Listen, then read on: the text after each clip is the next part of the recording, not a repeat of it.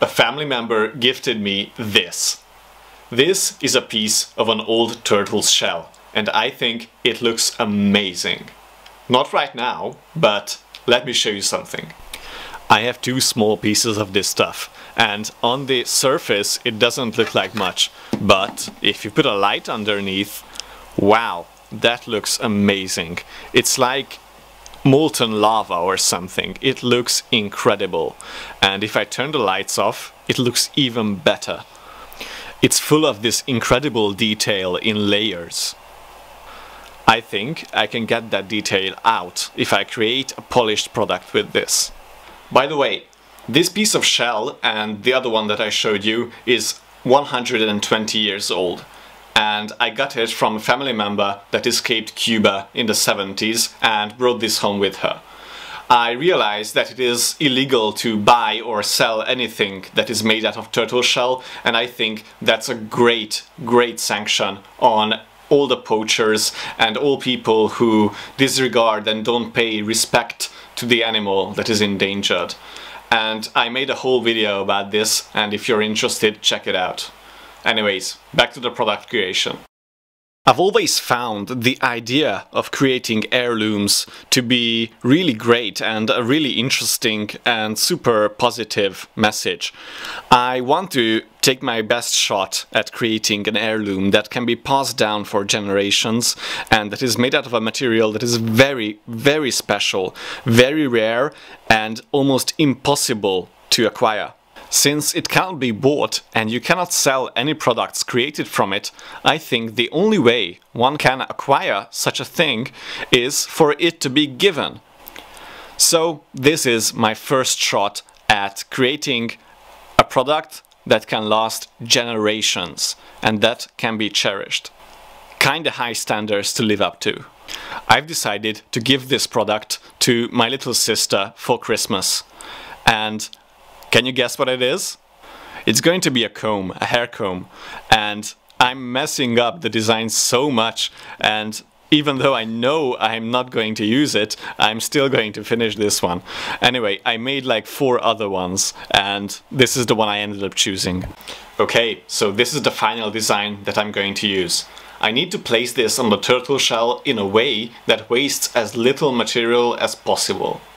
There are a bunch of problems with this shell piece and you can see it has one straight edge that was probably cut or something, I don't know.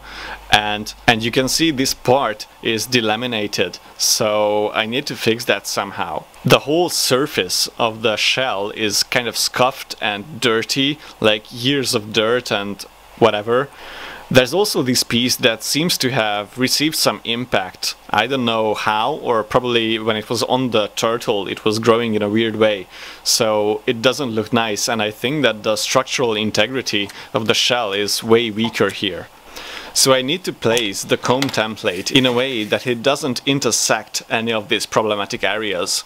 Like the surface scuff is alright, I can polish that away, but I can't deal with any structural deficiencies, or at least I don't know how I'm going to deal with them if I encounter them in the future. So here you can see me marking out the outline and I seriously need to get this right on the first try because I have very little of this material.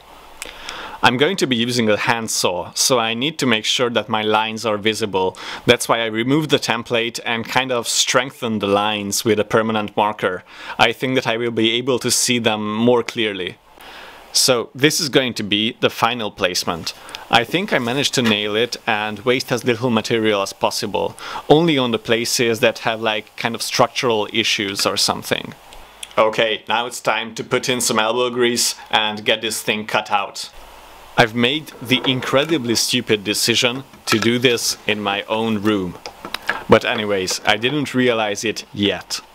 I'm going to be using a hacksaw and this may not look like the best tool, but trust me, it is the best tool. I've experimented on the smallest of pieces and this seems to grip the right amount and be precise enough for this project. I thought this project was going to be similar to leatherworking in complexity, but it actually ended up being a bit easier in complexity, but a bit difficult in anything else. So basically it's more along the lines of working with plastics or polymers. And since it is a polymer, but also an animal product, it has some very strange properties. One of these properties is that it smells incredibly bad, like burning hair times a thousand bad. And I was doing this in my room and couldn't get the smell out for weeks. It's absolutely disgusting. And here, as I predicted, there is a structural failure point. Since it was impacted or something happened, the turtle shell just breaks apart. But everywhere else, it's pretty solid and it looks sturdy enough to produce something that can, I think, hopefully last a lifetime. Finally, I've made it around the whole shell and now it's time to file down the corners and get everything lined up and looking beautiful. It was kinda hard to film this since it is so small and you have to hold it so steady with your hand. Wow, I'm glad that went well. But after this, I made a crucial mistake. Right there, I gouged out 2 millimeters more than I needed and I cannot put it back. So it's not going to be perfect, but I need to make it as beautiful as it can be. So I exchanged a bit to something a bit smaller and was a bit more precise on the next few holes. Trust me, it's not as bad as it looks. I'm only 2 millimeters outside of my lines and I think I can make it work.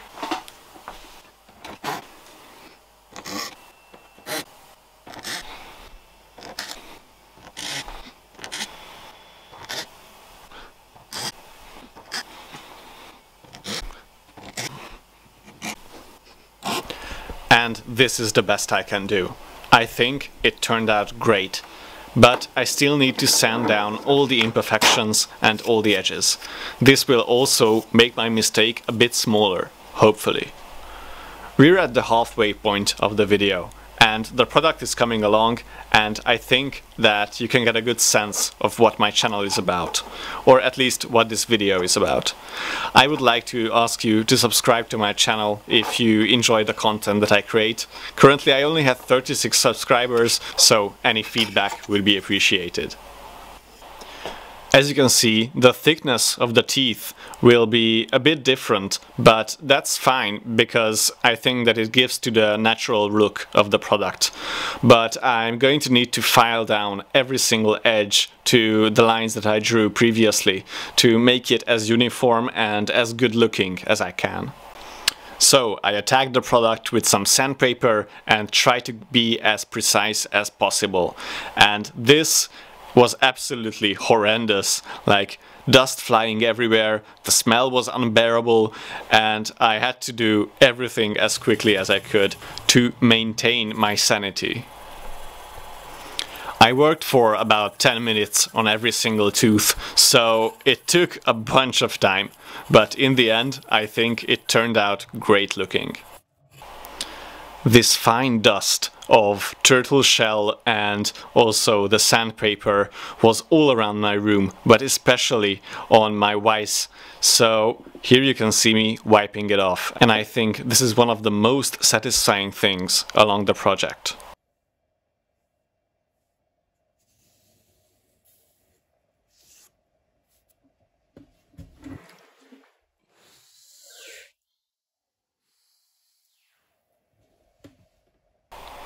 So, you be the judge. This is the closest I can get to uniformity with my cheap hand tools and a lot of work.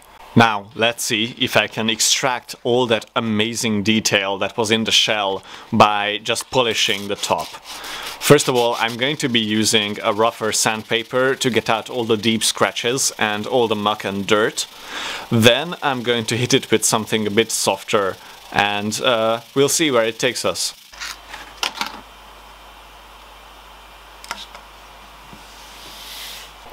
That's one side done.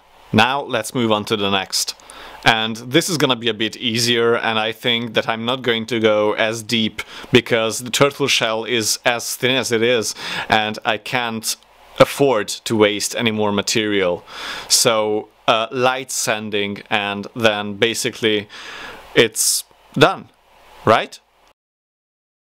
Oh no, I can't call it that early.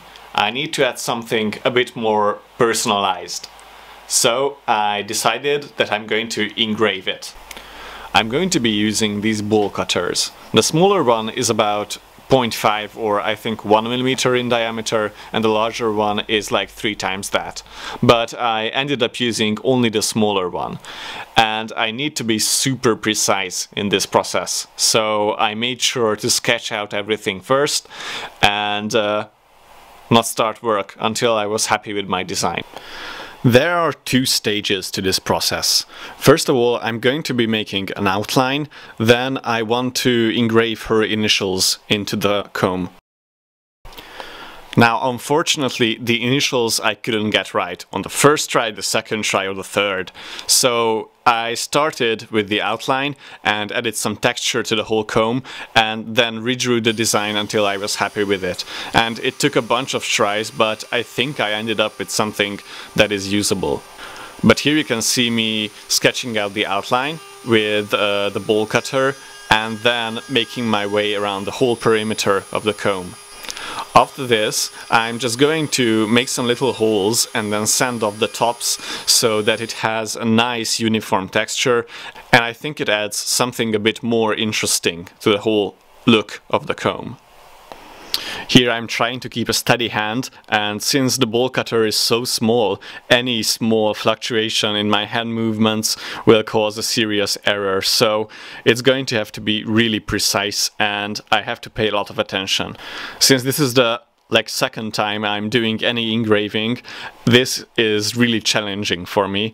But I think that with these limited skills, I could get something that adds some more value to the whole look of the piece and these are the tiny hole textures that I was talking about.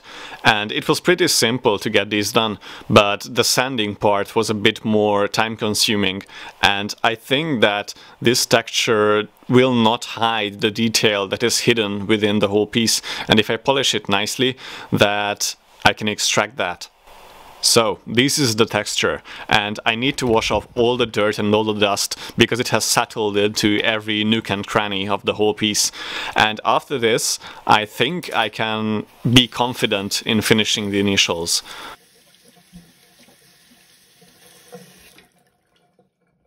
So there you go, that's the texture finished. And I think I can improve my washing and I will attack it with a toothbrush, but that's done. Okay, now on to the initial.